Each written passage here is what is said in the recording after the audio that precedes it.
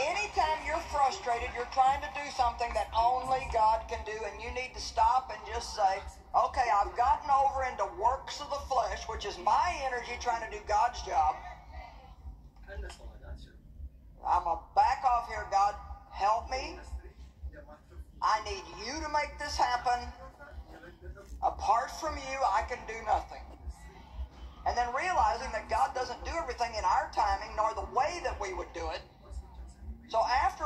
We then trust God and we watch Him work.